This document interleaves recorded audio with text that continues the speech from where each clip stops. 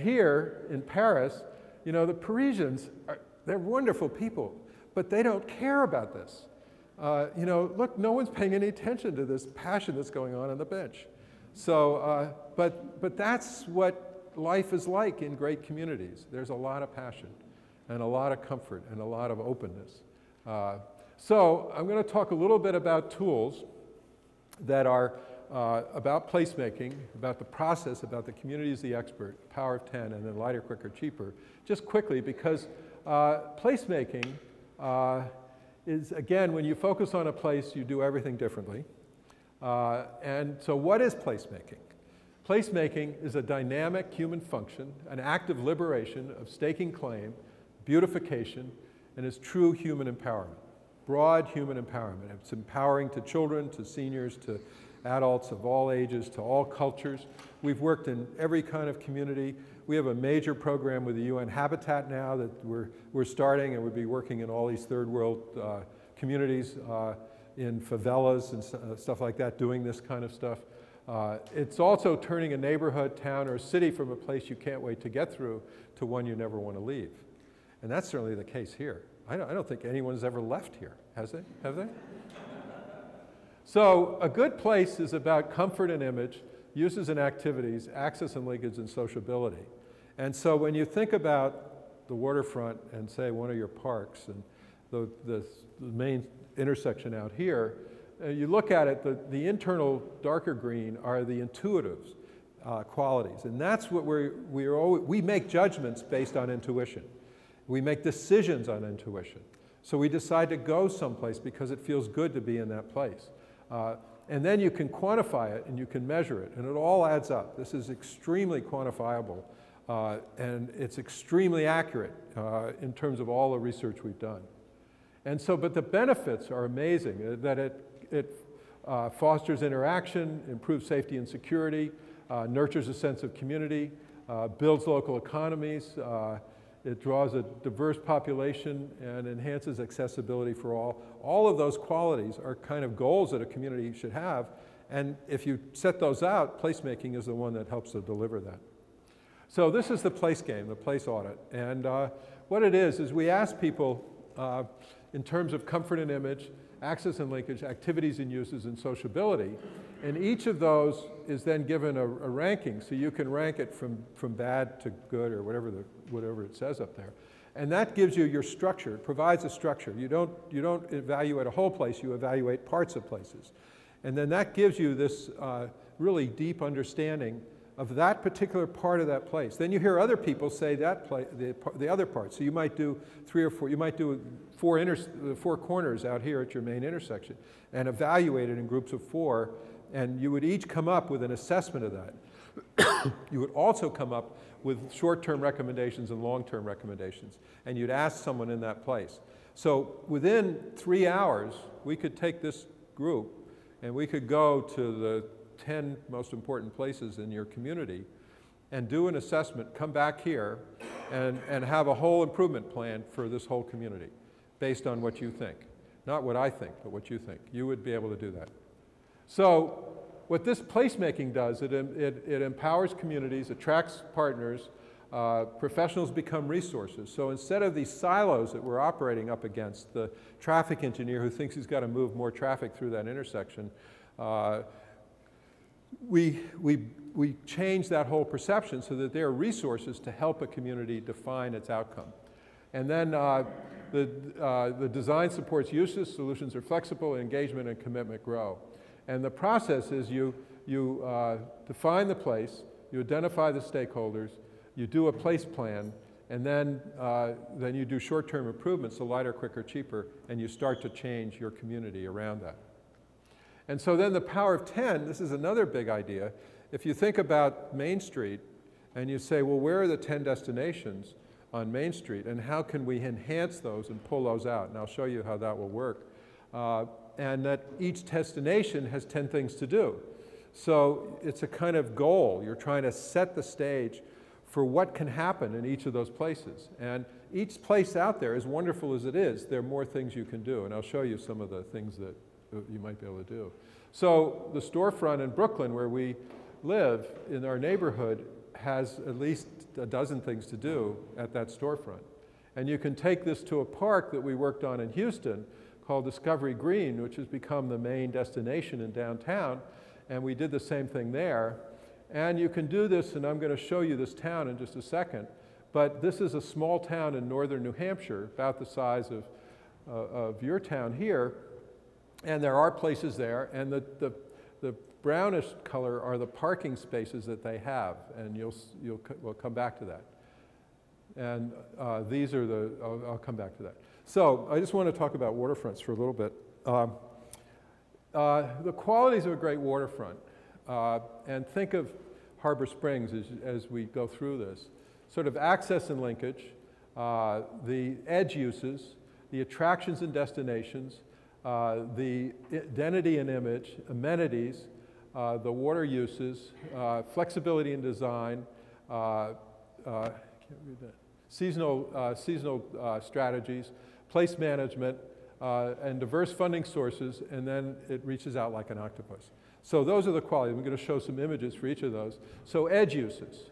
having strong edge uses on the water, and that's one of your weaknesses, is you have, there's too much distance between the near buildings and the, and the waterfront, or there's too much parking between the waterfront and the edge uses. So you've got a combination of those things. Uh, and uh, then the whole idea of being on the water. This is in Stockholm. And Stockholm is the best waterfront city in the world. And what they do is they get as much as they can on the water. It's not just looking at the water, it's being on the water. So they will have these restaurants that are literally floating out or, or and this is, a, this is the Baltic Sea, so there is a tide there, not much of one. Uh, and so people are on the water and they want to be out there. Those restaurants do better than the ones that are back inland. So, uh, and then the attractions and destinations, uh, that little box on the bottom right is a, uh, is uh, a restaurant. Uh, it's actually made out of, it's floating with these uh, old soda bottles underneath it. And then there's a local restaurant that delivers your meal right to that little house. And you have this wonderful place on the water that you're eating. So that's the most water focused place I've ever seen. I didn't get to eat there. But you can see how people are kind of stretching the envelope, getting closer and closer to being more and more on the water. And that's what you need. You need to do that. Uh, and then the whole idea of identity and image. Now, I don't think you'd need that on the right, but if you had it here for a week, uh, the, the, whole world would know about you because those, that's in Stockholm. And uh, you can imagine all the people sort of out over the water. I mean, it's a real thrill to be on. And uh, it does something for that city that I've never seen anywhere else. Uh, it does, it is the place where the teenagers go. You know, the teenagers are the ones that are kind of the, the least understood, the least appreciated, the least provided for. And this place called Gröna Lund is all teenagers. And they're all out there screaming and yelling up on, on that and other things that go on there. And so that's a big issue. Uh, I don't see any teenagers here, do I? No, you see, I mean, that's, that's the forgotten group or the denied group. And they're a, a, critical part. And watching this community, there are a lot of teenagers around, and they are actually in a pretty good setting. So it works pretty well, and it's sort of like what I grew up at. So it's not, you don't do a bad job, it's, you could do more. Amenities uh, are critical, uh, and just not just uh, subtle amenities, but almost provocative amenities, like that little uh, extension along a, a boardwalk in, uh, in Italy. Uh, and then the water uses.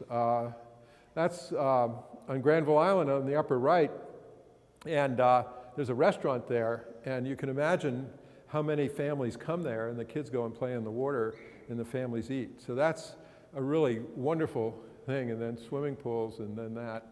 And then the flexibility of design.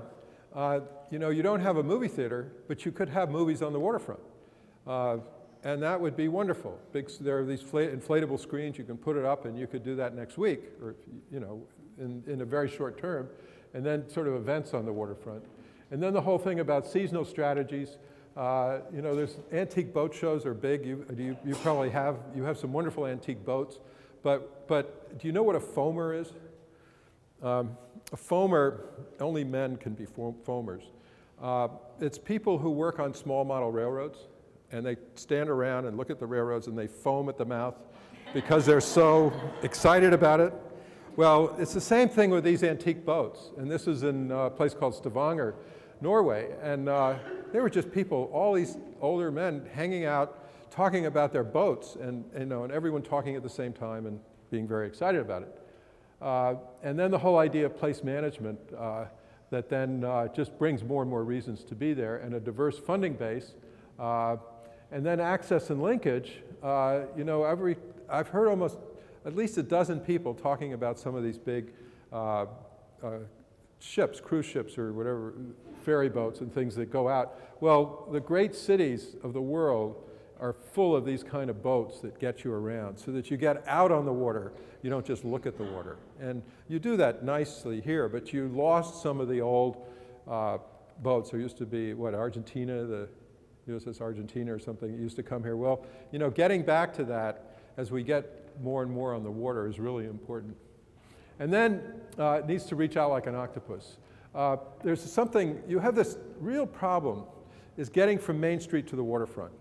It's not a, it's not a comfortable, it's more like a divide than it is a connection. connection.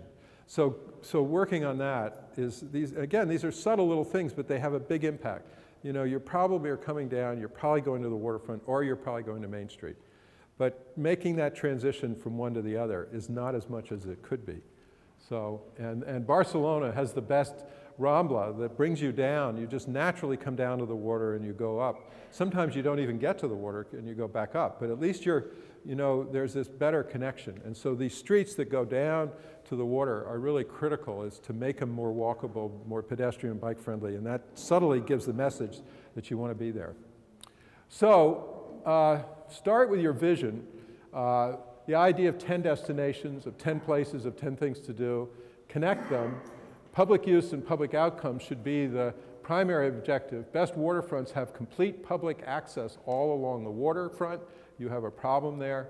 Uh, the, the whole idea of promenades and bike lanes serve the best waterfronts, and the best waterfronts have limited roads along them and good edge uses.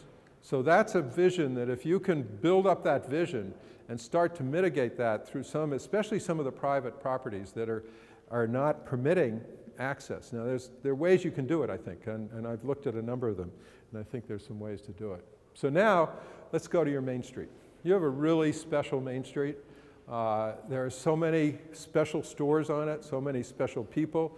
I had breakfast with Mary Ellen this morning, and uh, I want everything she has. I want her to change her menu uh, because her menu, there's so many good things on it, that if she did one of those, you know when you go to a fancy restaurant, they give you a tasting menu?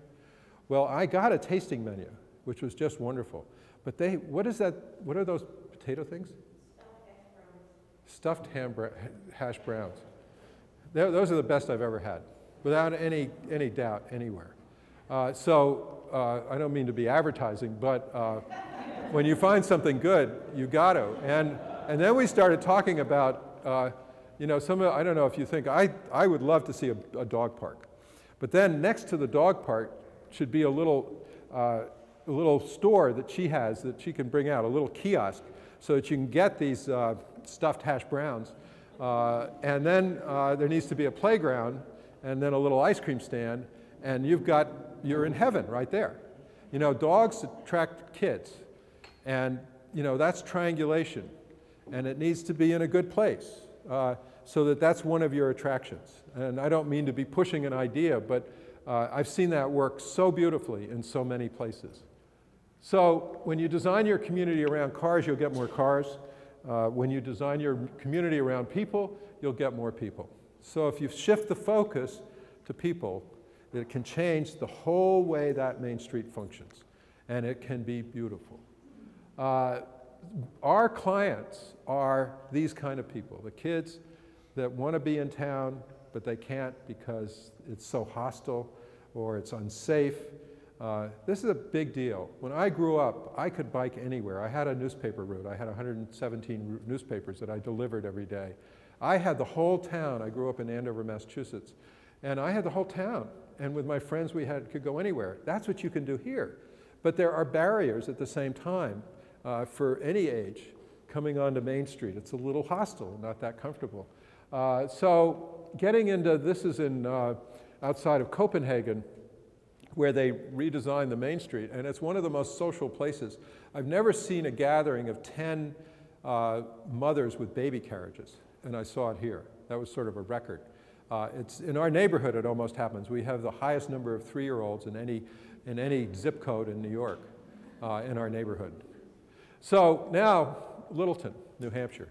This is a town a lot like you.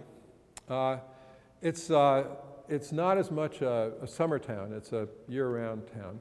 And it's one of those amazing settings. It's, it's very big for the 10,000 people that live there, 7,000 people. Uh, and they want to go from adequate to extraordinary, okay? Uh, they, uh, they want to eat in diners, they want to ride trains, they want a porch on their house, they want to shop on Main Street, and they want to live in a walkable community. Uh, great goals, and they can do that. So this is their Main Street, and that's they call that the Opera House on the left in the back, uh, because it's not just the town hall, but it's also the community uh, neighborhood performance center as well. It does both, it serves multiple uses. And uh, the building on the left is the post office and the courthouse. There's a very funny story about that. Uh, it was the drawings for this were sent to Littleton, New Hampshire, but they should have been sent to Littleton, Massachusetts. But they got the drawings and they liked it, so they built it in Littleton, New Hampshire. and, then, and so this is the town. They're almost all owner occupied stores. It's a wonderful place. They have a wonderful bookstore. Uh, there's seating outside. People take great care of it. They have their own movie theater.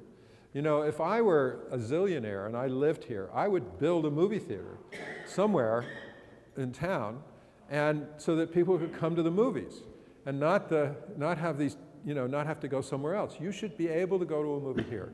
And then what that does for everyone else. But that's owned locally. And there's that picture. Now remember, those are dots are the destinations that people have in that town. Like you, you could put your dots all along this, uh, the main street here, and then the parking is in those areas. Uh, and there's almost uh, no one is ever in any of that parking because people want to park in front of the store they're going to. And so what's happened is that that town has shrunk so that it's in those orange zones right there. And people drive to that orange zone and then complain about parking uh, because that's the only, that's the, the town has shrunk so much that it's just in those two places. So you have all these people trying to go to, to, to two very specific places. And, uh, and if we can connect those, uh, and then we can go beyond that and we can open, there's a water, there's a river right there uh, on the, the white sort of uh, rapid type stuff. And we can actually get the town to be what, is like, what it was like in the 1930s, uh, when people did not drive, where they did walk, and where the whole town, they went and did four or five errands on, in town instead of driving to one place doing something and then driving to another place. So this is, and so we did this exercise that you're seeing that, that I showed you before, and uh, so people evaluated the post office. And what they wanted was a place to open their mail, to hitch up their dog, uh, and to have some coffee in front of the post office. Great idea. Uh, and then this woman gives out information to everyone, even if they don't want it. She gives out information. Well, you know, she has to have other things to do. So if she did a few other things, then she wouldn't pester people, but then they would appreciate her and come and sit with her, and she'd still give out information. But, uh, and that's the community center where they have the cultural activities in there. And then this is the library, and uh, this is a wonderful building, and people come there. But what happens is you see that wall in the front? That's where the teenagers sit. And that's where the seniors are uncomfortable about going to the library because the teenagers are sitting there. Okay? Uh, now, those are three of the teenagers right there. They're not that dangerous. But, uh, but that's, I mean, these are subtle little things that go on in a special community. I mean, th- this is not, you know, this is not rocket science. This really happens everywhere. And that building only had, uh, had one entrance for four stores. So it had no presence on the street, you see. And this is where people would buy cigarettes. A lot of people smoke up in northern New Hampshire. And that's where the presidential candidates stay when they go there for the presidential things. So here's just the, here's this little stretch of a street, okay? And uh, we were actually working with the New Hampshire Department of Transportation, and we had all the senior staff at the New Hampshire DOT doing this evaluation with the community. And the head of the New Hampshire DOT lived in this town. So she was as much interested in making that town work. And all of these engineers were just as good a people as you could ever find, and they wanted to make the town work too. So this was one of those watershed moments where the whole idea of the town working as a series of places, as a destination, was, the, was paramount to, this, to the New Hampshire DOT. We worked in five other communities, changed the whole way DOTs function in that state. So here is that, and putting in back-in angle parking uh, is safer, research shows. In front of the, uh, in front of the post office, uh, a place to hitch, your, uh, hitch up your dog, uh, have coffee, and then a crosswalk over to a little park across the street where there's an ice cream parlor. Okay? So that was how, it, we didn't locate it at the intersection, we located it where people wanted to go. Uh, and then going down, that, see where the, the information thing is, we created a garden and a tea house, and then uh, opened up the, uh, the storefronts, and then the post office, people wanted to bring the, the entranceway down to the street, and then there's a crosswalk to a bookstore across the street. And so the street was designed so that each use was reinforced. So it's not streetscape design, it's, it's focusing on what we call streets as a place. So the places along the street become what you build out and you, you showcase so that people come there. Now you could do that here. Uh, there's one place where you have deliveries and you could just bulge out that and there's some, there's some uh, food service right there. There's, a, there's a, a, I guess, a very important coffee shop. Well, you could have people sitting on the street. Well, then people will attract people will attract people.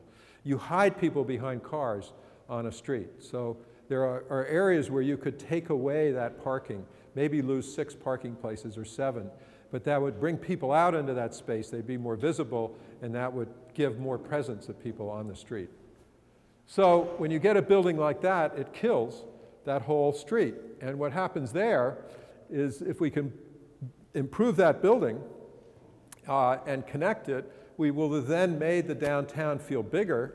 And then if we can go and take here, what happened at this intersection, the DOT had taken the crosswalk out so you couldn't cross uh, you had to go way around to get across the street. And that didn't bode well, and that kind of nibbled at that part of town. Uh, and so by moving the city hall back because it needed to be moved because the foundation was eroding, uh, you could create a whole destination at this end of town and, uh, and then uh, do something like that. And then the bridge going over the river was just one of these off the rack bridges that had no personality, and you could open that up and then uh, do something like that, put parking on it, and then bring people down to the river there, and then create an entranceway to the town. Uh, and then the most interesting thing of all, they're all, was, this was all interesting because we were dealing with people in that community. So here uh, was a bank, uh, and the bank uh, president and the, the couple that owned the ice cream store next door to each other, we were standing here on the street, and we asked them, well, why do you have this wall between your two businesses? And none of them knew the answer. So if you take the, the wall down and you open it up, you can go and get ice cream and go to the bank and go to the bank and get ice cream. So all of a sudden you've created a synergy that is, just makes so much sense. Uh, and so then by, uh, by going back and by connecting all of these, uh, you've actually brought the town back to what it was like in the 1930s uh, where people were walking and they didn't drive very much and they would go to four or five different stores and the town was whole, you can get it back to that and you can actually make it much better. So the message for here is you have that same possibility here, sort of extending the town, enlivening, activating different parts of the main street, the main intersection out here where the old Shell station was, uh, that people need to come closer to the corner. There needs to be more going on. The front of this building is uh, more like a suburban building. As nice as this building is, It needs to be uses going on. Uh, and maybe little squares and places for people to sit in front of this so that it, and maybe a, a vendor or two that goes down to where the park is because the park is right there. So this, as nice as this is, it's a beautiful look at me building, but the outside is, you know, it's nice to look at. So it's a very different, you see where we're going is you're turning things upside down to get things right side up. It's very different, but it's what you want too. It's intuitively what you want. This is not rocket science, it's not a radical departure, it's sort of growing intuitively what will make your community a lot better. So now let me go into a big transformation. The whole idea of what we called shared streets or shared space. This fellow is a traffic engineer. He looks like a traffic engineer. Uh, and he is a traffic engineer. And he was the most he had such a strong orientation towards statistics and accident data and stuff like that. But he all of a sudden started to realize that having an intersection like this was not an asset for the communities he was serving in Northern Holland, was not an asset for the communities he was serving in Northern Holland. So what he did, uh, and that does nothing for any of that. The, those, the, those corners, they recede back in, people don't go there. There's nothing pleasant about it. It's all about traffic. 37,000 vehicles a day were going through that intersection. So what he did is he did this.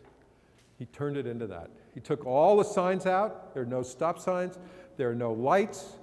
Uh, you come into this section, this place, and, uh, and you slow down and you get to where you're negotiating, creating eye contact with a pedestrian or a bicyclist. So what you've done is he's using sociability as the way of determining how you use that intersection. Big deal. Really, really big deal.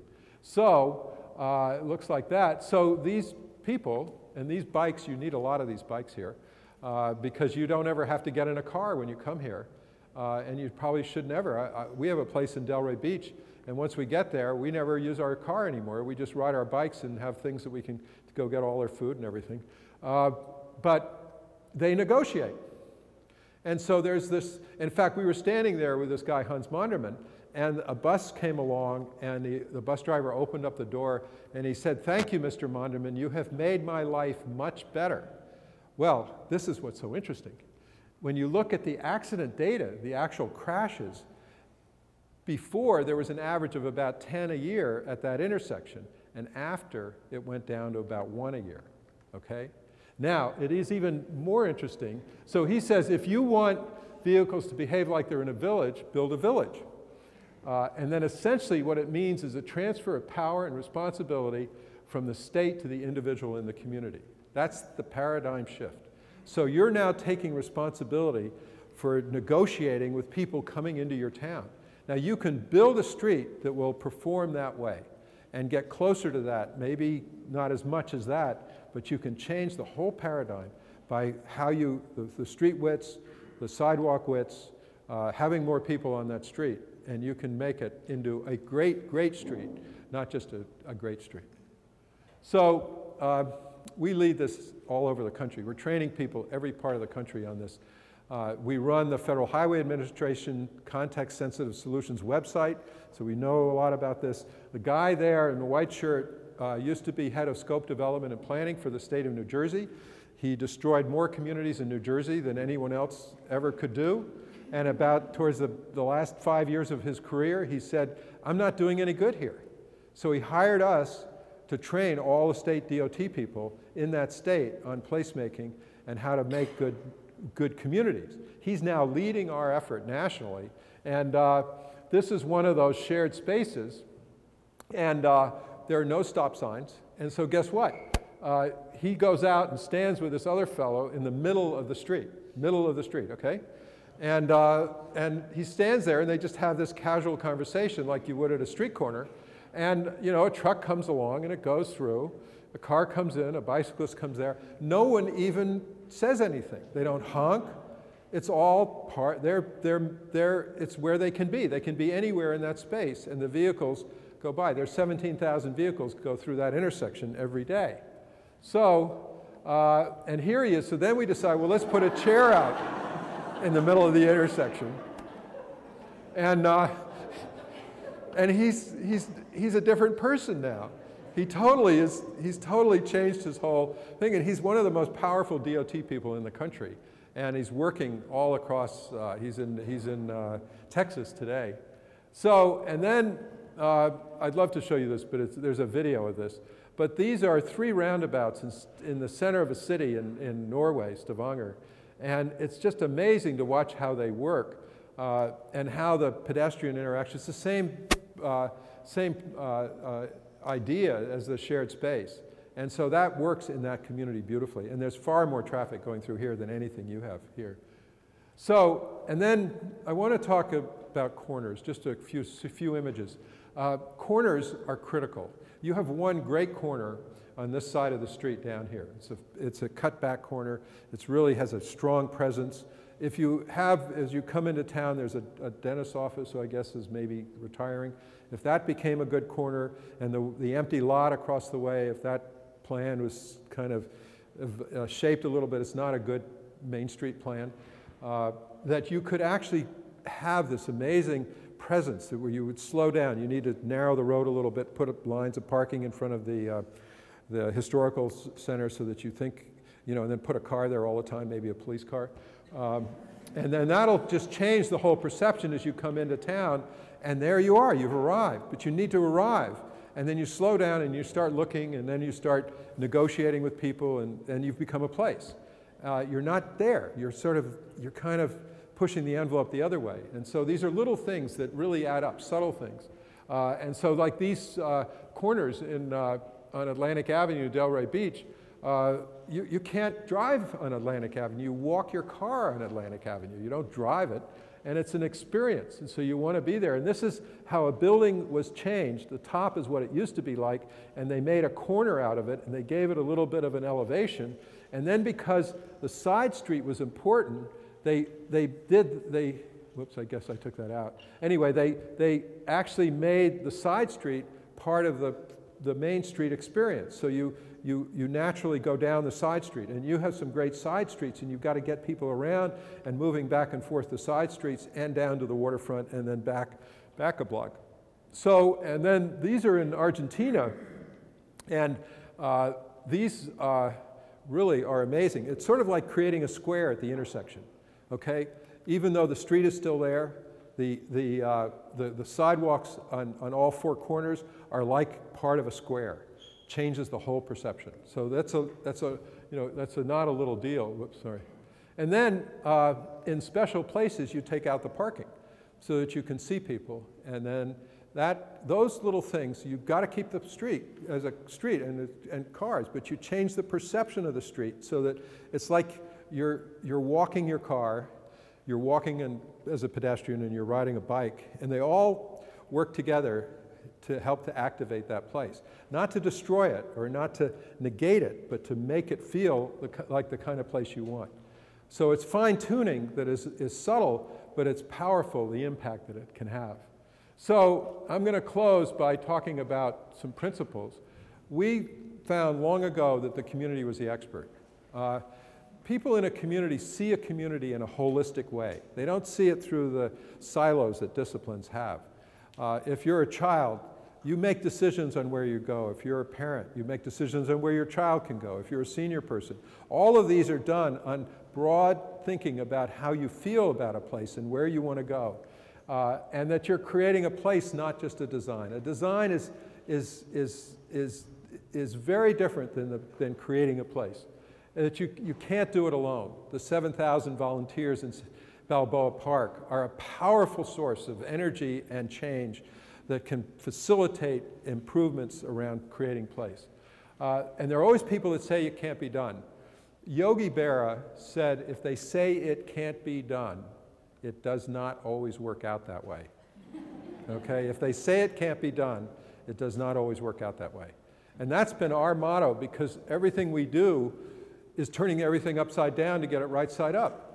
You know, it's not fun to do that, but if you have to do that because the community is far more important than some traffic engineer trying to put more traffic down your community and work to destroy it, that's not a positive thing. Uh, so, and then you can see a lot by observing. You can have it develop a placemaking vision, which we talked about, the power of 10, triangulation. Form supports function. Uh, got to know what the, tomorrow we have uh, 500 ideas of what the program for this new square at Harvard can become. And we have to turn it into management plan and some design for that. That's what's really, it's a challenge and that's what's really fun. Uh, and then the lighter, quicker, cheaper. We used to say start with the petunias. Uh, what's that town that does petunias? Charleroi.